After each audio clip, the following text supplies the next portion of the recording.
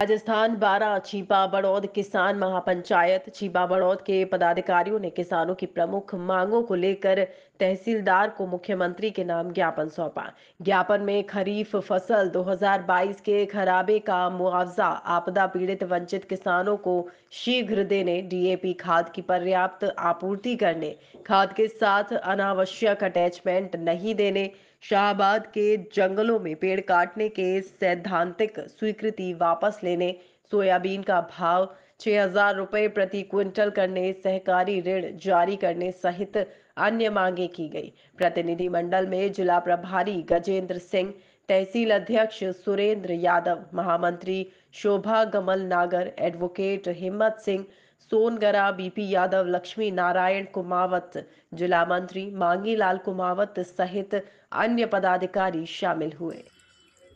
आज छिपा बड़ौद तहसील किसान महापंचायत के पदाधिकारियों ने मुख्यमंत्री के नाम तहसीलदार को ज्ञापन सौंपकर मांग की है कि वर्ष 2022 खरीफ फ़सल जो खराब हो चुकी थी, उसका मुआवजा अभी तक भी किसानों को नहीं मिला है। वो मुआवजा दिया जाए तथा सोयाबीन का भाव छः हज़ार रुपया प्रति क्विंटल से खरीद की जावे।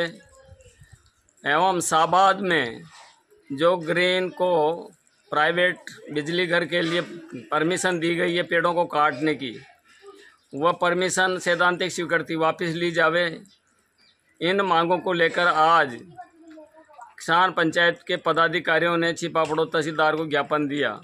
मैं सत्यनारायण सिंह, प्रदेश संयोजक।